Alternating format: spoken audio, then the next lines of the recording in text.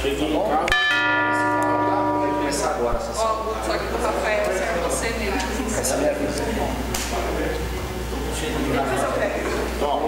Ô, Rafa, você marca um minuto, que a gente vai fazer um minuto de silêncio do irmão. Você marca um minuto pra gente? Na hora que a gente falar um minuto, que é um minuto de silêncio pro irmão Mota.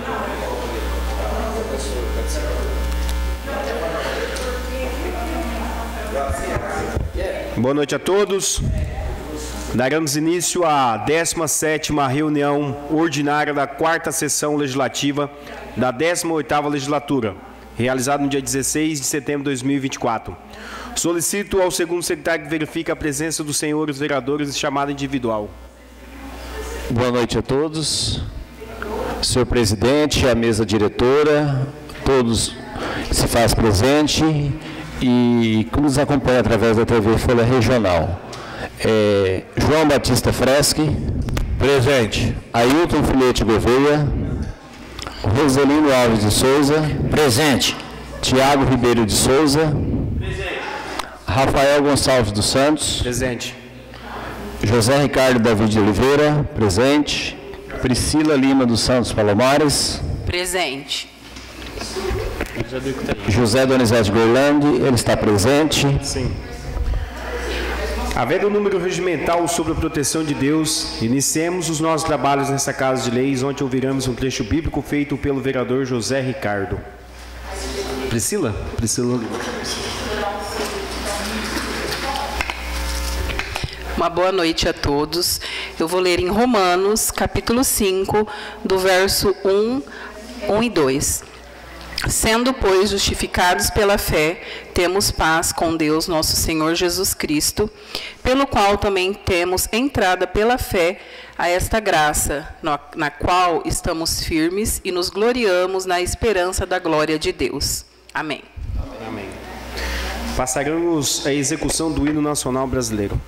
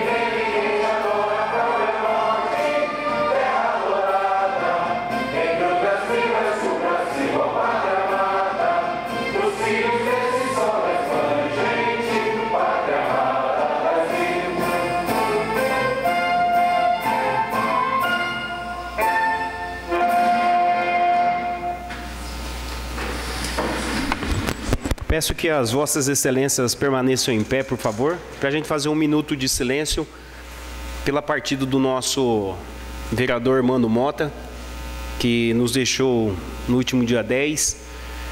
Nós deixamos uma rosa em homenagem a ele encerrando assim os trabalhos do Hermano Mota na Câmara Municipal de Flórida Paulista. Então vamos fazer um minuto de silêncio.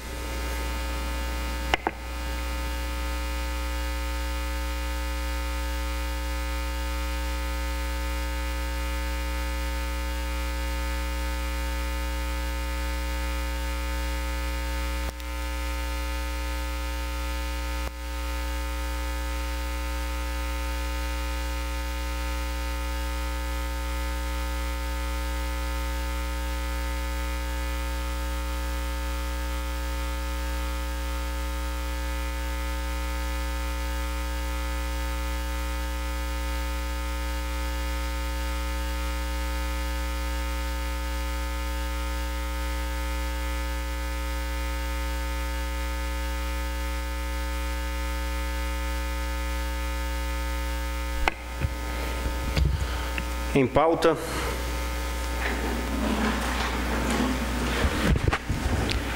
Em pauta temos a ata da 16ª reunião ordinária, não havendo impugnações, foi considerada aprovada independentemente de votação. Solicito ao primeiro secretário que faça a leitura dos ofícios e outros documentos encaminhados e recebidos por, essa Casa de Leis. Ofício número 58, 2024. Senhor Prefeito, pelo presente estamos encaminhando Vossa Excelência os autógrafos número 2566, projeto de lei número 11, 2024, 2567, projeto de lei número 12, 2024 e 2568, projeto de lei número 13, 2024, todos de iniciativa do excelentíssimo senhor Prefeito Municipal. Sem mais, apresentamos nosso protesto de elevada estima e distinta consideração. Até Atenciosamente, Rafael Gonçalves dos Santos, presidente. Ofício número 59, 2024. Flórida Paulista, 3 de setembro de 2024.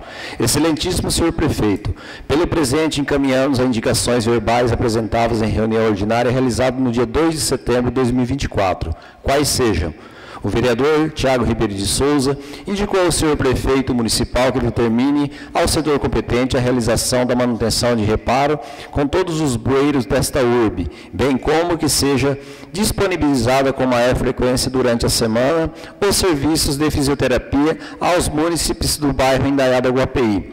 A vereadora Priscila Lima dos Santos Palomares indicou ao senhor prefeito que disponibilize um veículo do ônibus com ar-condicionado, o próprio para o transporte de cadeirantes, para a realização do transporte de alunos que frequenta a PAI de Adamantina. Sem mais, apresentamos nosso protesto levado estima e distinta consideração. Atenciosamente, Rafael Gonçalves dos Santos, presidente da Câmara Municipal de Flórida Paulista, ao excelentíssimo senhor prefeito Wilson Freire Júnior. Ofício número 135 de 2024. Assunto encaminha resposta a requerimento.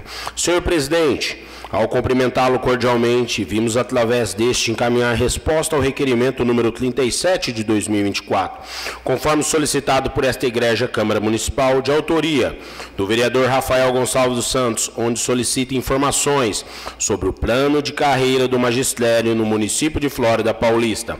Após a análise no presente requerimento, informo que houve a entrega pelo CSC, Assessoria e Consultoria do projeto de lei complementar que altera o plano ano de carreira do magistério, todavia, não foi enviado ao plenário do Legislativo desta municipalidade, devido à necessidade de alterações, adaptações a quais os textos legislativos necessitam passar inclusive com a obrigatoriedade de implantação de regime de tempo integral nas escolas municipais.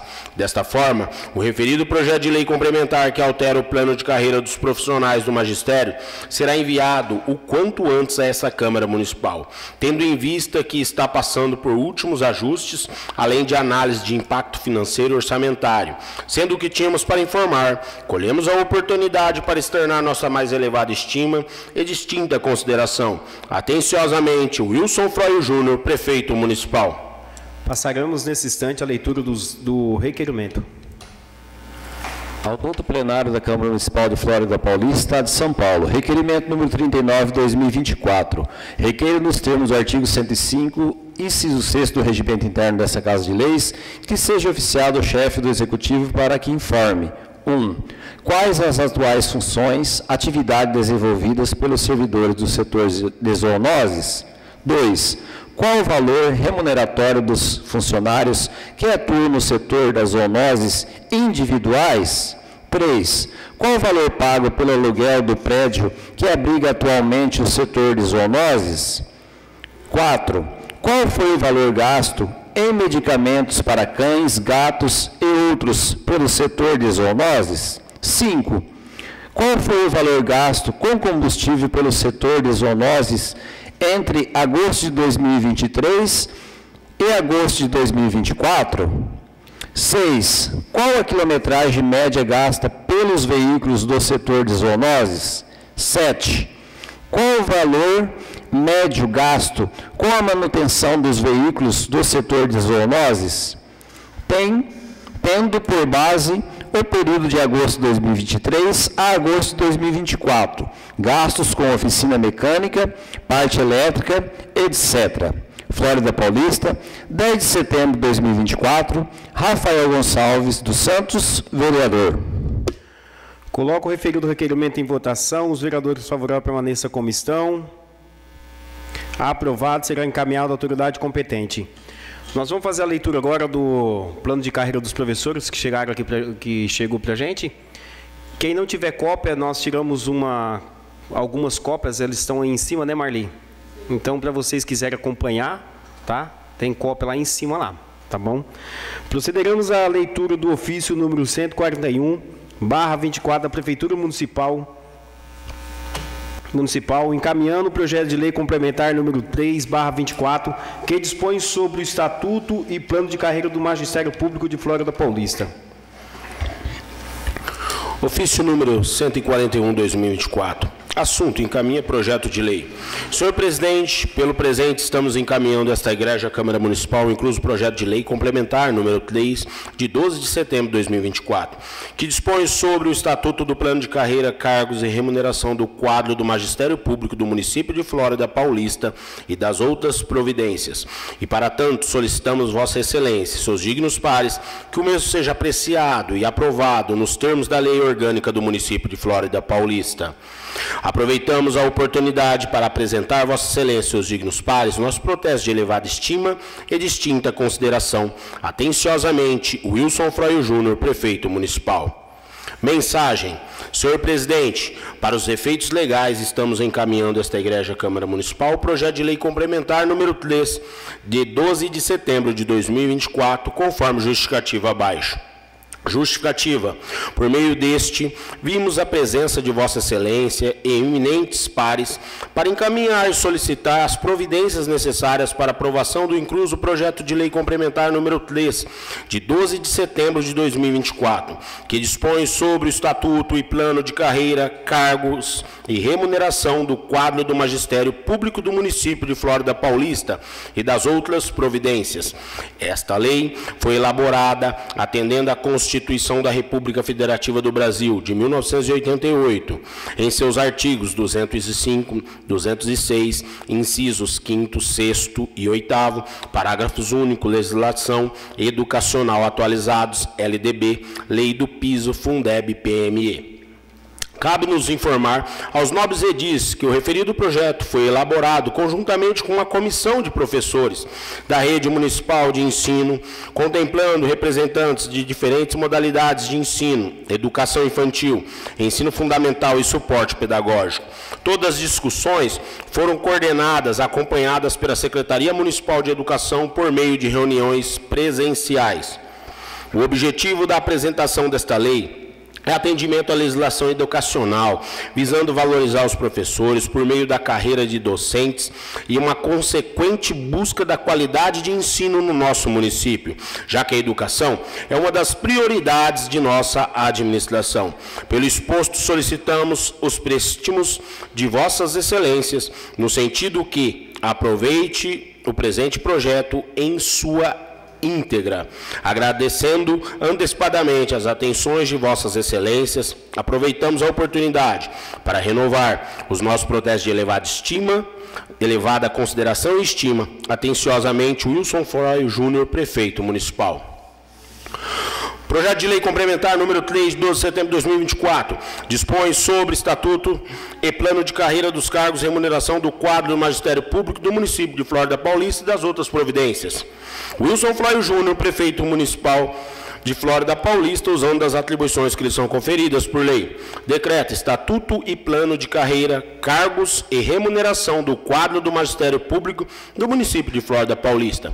Capítulo 1 das disposições preliminares, seção 1 do estatuto. Artigo 1 Esta lei complementar regulamenta disciplina e reorganiza a estrutura funcional do quadro do Magistério Público do município de Flórida Paulista, nos termos do artigo 67 da Lei 9.394, de 96, e demais disposições constitucionais e legais vigentes. Parágrafo 1 Para efeito desta lei complementar, integram a carreira do Magistério Público Municipal os servidores que desempenham as atividades de docência, ou as de suporte pedagógico à docência, isto é, direção ou administração, planejamento, inspeção, supervisão, orientação e coordenação educacional, exercidas na educação básica pública, em suas diversas etapas e modalidades.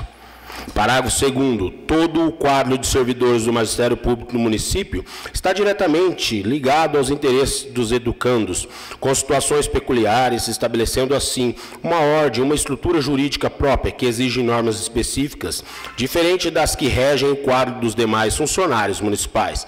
Parágrafo 3 as disposições desta lei complementar não se aplicam aos servidores que integram o quadro de apoio educacional. Parágrafo 4 O regime jurídico dos servidores públicos abrangidos por esta lei complementar é o estatutário, nos termos da Lei Complementar Municipal número 108 de 2024. Seção Seção 2 dos objetivos. Artigo 2 constituem objetivos do Estatuto e Plano de Carreira do quadro do Magistério Público Municipal.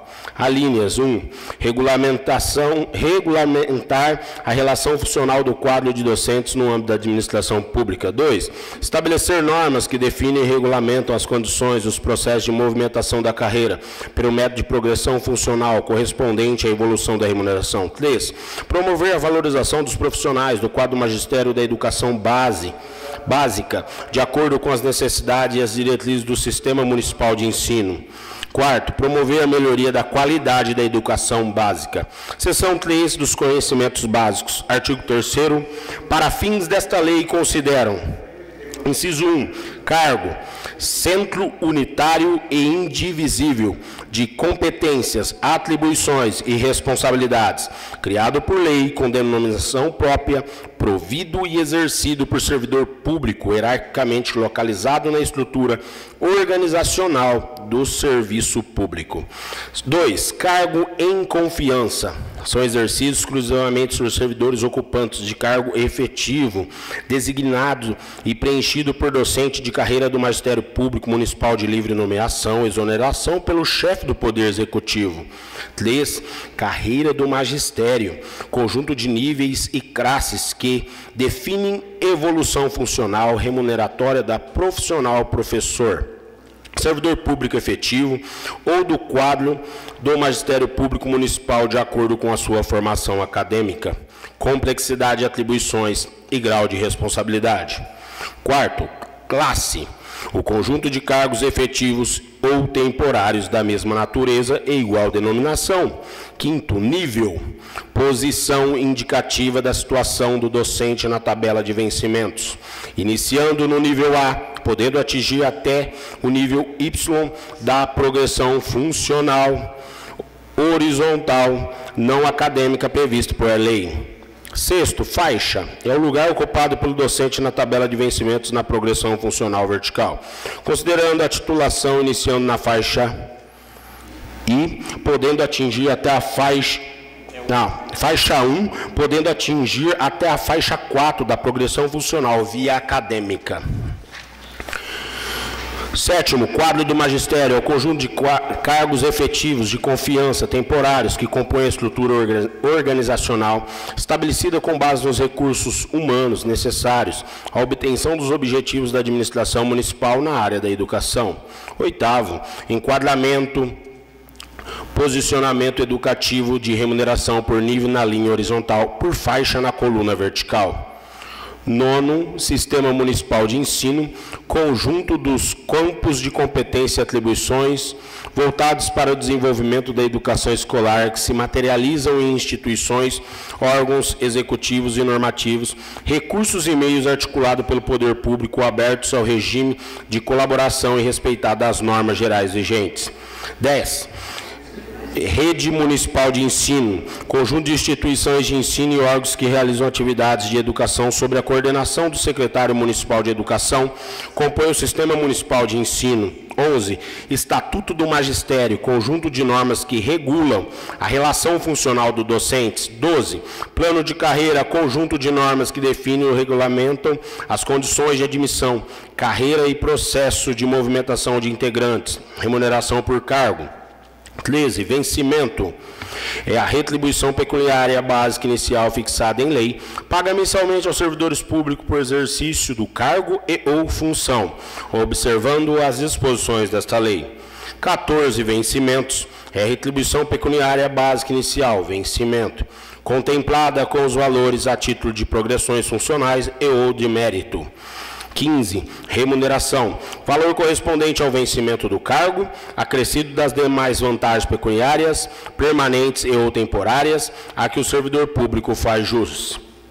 16. Docentes, professores no exercício do magistério na educação. 17. Suporte pedagógico, profissionais de educação que oferecem suporte pedagógico direto ao exercício da docência.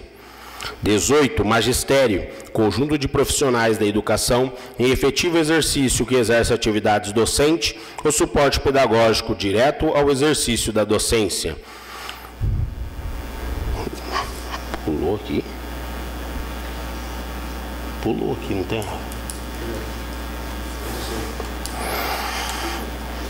Ó, tá marcando 22 aqui, mas seria 19, tá?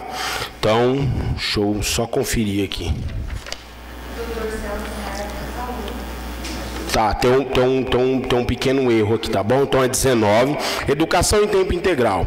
Modelo que amplia o período de permanência dos alunos na escola, oferecendo auxílio pedagógico específico e atividades extracurriculares. Capítulo 2 do, do quadro do magistério, seção 1 da composição. Artigo 4 O quadro do magistério público municipal será constituído pela classe de docentes e pela classe de suporte pedagógico.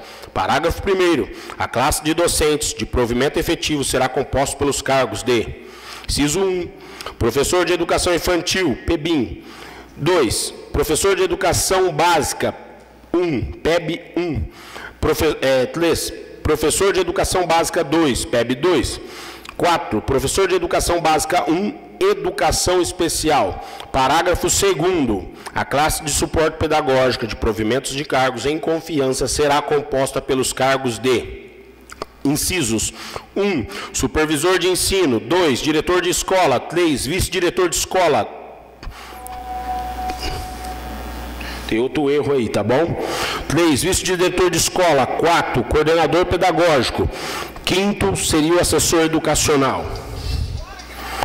Seção 2 do campo de atuação da classe docente. Artigo 5 Os integrantes da classe docente obedecerão os seguintes campos de atuação. 1. Um, professor de educação infantil, PEBIM. Alíneas A nas classes ou turmas de educação infantil de 0 a 5 anos. B. Nas classes ou turmas de primeiro ano do ensino fundamental, por comprovada competência e experiência na fase inicial de alfabetização. Incisos 2. Professor de educação básica 1, PEB 1. Alíneas A nas classes e turmas dos anos iniciais do ensino fundamental. B. Nas classes ou turmas do EJA, Educação de Jovens e Adultos dos anos iniciais do ensino fundamental. C. Nas classes de educação infantil, somente na ausência do professor substituto de professor de educação infantil efetivo. 3. Professor de Educação Básica 2, PEB 2. Alíneas A. Na classe ou turmas de educação infantil, de acordo com especificidades previstas na grade curricular. B. Nos anos iniciais do ensino fundamental, de acordo com as especialidades previstas na grade curricular. Quarto, professor de educação básica. Professor de Educação Básica 1, Educação Especial. A. Na sala de recurso multifuncional no atendimento educacional especializado dos alunos com deficiência física, alunos com transtornos globais do desenvolvimento e com altas habilidades, superdotação, matriculado das unidades escolares municipais. Parágrafo único. As descrições dos cargos de docentes são as constantes no anexo 4 quarto desta lei. Seção 3 do campo de atuação da classe do suporte pedagógico.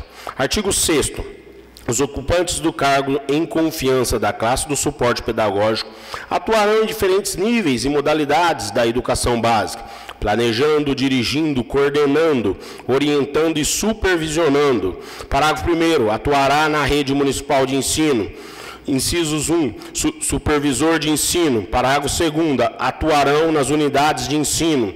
Incisos 1, diretor de escola. 2, vice-diretor de escola. 3, coordenador pedagógico.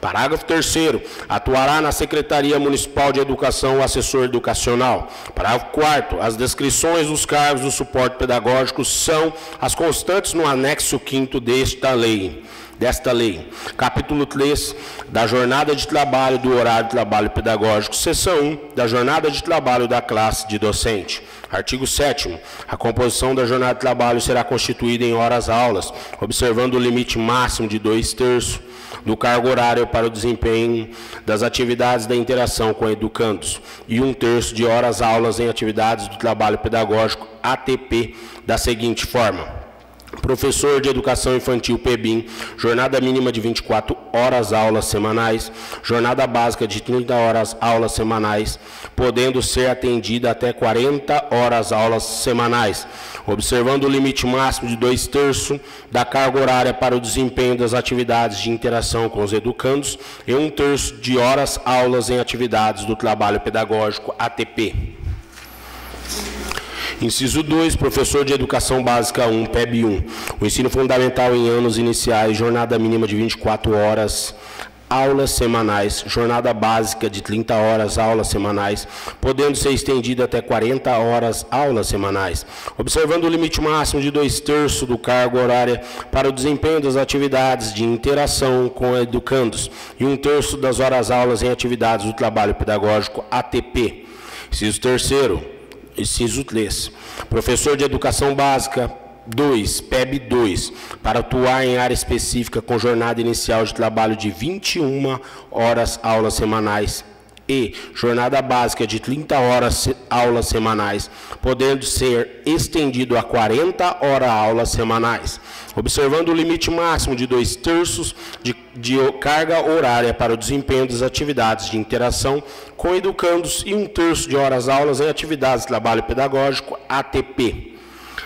Quarto, Professor de Educação Básica 1, Educação Especial, em sala de recursos multifuncionais para atendimento educacional especializado dos alunos com deficiência física ou mental, alunos com transtornos globais do desenvolvimento e com altas habilidades, superdotação matriculados nas unidades escolares municipais, com jornada de trabalho de 30 horas aulas semanais, sendo composta por 20 horas aulas em atividade com alunos, 10 horas aulas de trabalho pedagógico ATP. Inciso, é, inciso 5, poderão ser criados jornadas de trabalho diferenciadas para os cargos de professor da educação infantil, PEBIM, e professor da educação básica 1, PEB1, no atendimento da escola em tempo integral, limitando a jornada de trabalho a 40 horas aula. Artigo 8 as horas aulas de atividades de trabalho pedagógico, ATP, serão regulamentadas através da resolução da Secretaria Municipal de Educação de atribuição de aulas anualmente e deverão ser distribuídas nas seguinte conformidade: a serem cumpridas na unidade de ensino. A. Em atividades coletivas. B. Em reunião de orientação técnica. C. Discussão de problemas educacionais. D. Elaboração de planos com participação do diretor e dos outros profissionais de suporte pedagógico. E. Reunião dos professores para a preparação de avaliação do trabalho pedagógico. F.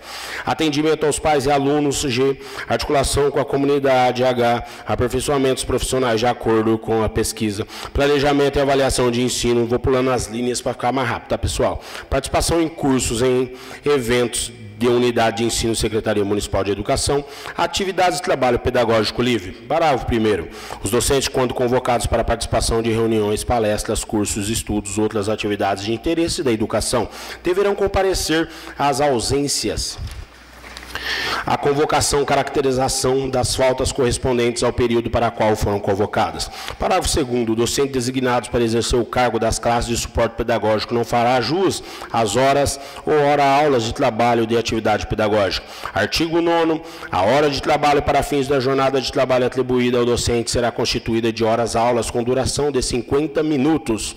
Artigo 10 o docente que ficar adi, adido ficar adido por motivo de diminuição de turma ou não formar a jornada de origem, deverá cumprir a diferença de sua jornada de trabalho atuando em projetos especiais na própria unidade de ensino, conforme designação da direção da escola ou da Secretaria Municipal de Educação. Artigo 11. Aos docentes contratados período temporários aplicar-se-á carga horária equivalente à jornada de trabalho docente previsto no artigo 7 desta lei. Artigo 12. Os docentes sujeitos às jornadas previstas no artigo 7 desta lei poderão exercer carga suplementar de trabalho, desde que não ultrapasse 40 horas semanais no mesmo cargo. Parágrafo 1 Entende-se por cargo suplementar de trabalho o número de horas prestadas pelo docente, além daquelas fixadas para a jornada de trabalho a que estiver sujeito. Parágrafo 2 o número de horas aulas semanais da, da carga suplementar de trabalho corresponderá à diferença entre o limite atribuído de horas aulas ao docente e ao número de horas sobre a qual foi contratado. Parágrafo 3 As hora-aulas prestadas a título do cargo suplementar de trabalho docente são constituídas de horas em atividades com alunos e horas de atividades de trabalho pedagógico, observando-se sempre o limite de dois terços da jornada semanal de trabalho para o desempenho de atividade com alunos. Parágrafo 4 a retribuição pecuniária do ocupante do cargo ou função por hora-aula prestada a título do cargo suplementar de trabalho corresponderá ao valor da hora-aula fixado para a sua jornada de trabalho docente na tabela de vencimentos da classe a que pertence. Artigo 13. Poderão ser atribuídos aos ocupantes de cargo docente, a título de carga suplementar, três horas-aulas semanais para o desenvolvimento de projetos educacionais, de acordo com o plano pedagógico, aprovados pelo diretor da unidade unidade de ensino, homologados, supervisionados e avaliados pela Secretaria Municipal de Educação, devendo ser cumprido na unidade escolar ou na Secretaria Municipal de Educação. Artigo 14. Na hipótese de acúmulo de dois cargos de docente, a carga horária não poderá ultrapassar ao limite de 60 horas aulas semanais, além da obrigatoriedade já contemplada de cumprimento dos seguintes requisitos: compatibilidade de horários, inclusive das horas de atividades de trabalho pedagógico Comprovação de viabilidade de acesso aos locais de trabalho por meios normais de transporte. Intervalo entre o término de uma jornada e o início de outra de, no mínimo, uma